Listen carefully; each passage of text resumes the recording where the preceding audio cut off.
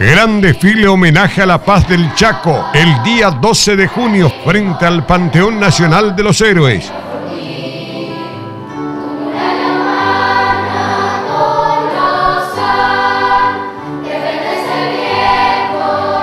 Invita Comisión Nacional del Bicentenario.